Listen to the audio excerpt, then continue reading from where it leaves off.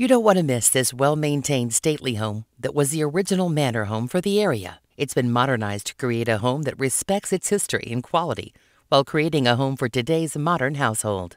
There's a generous, well connected, and open floor plan where formal meets casual. There's a wonderful modern country kitchen and a usable bright finished lower level with a walkout, as well as a two car garage.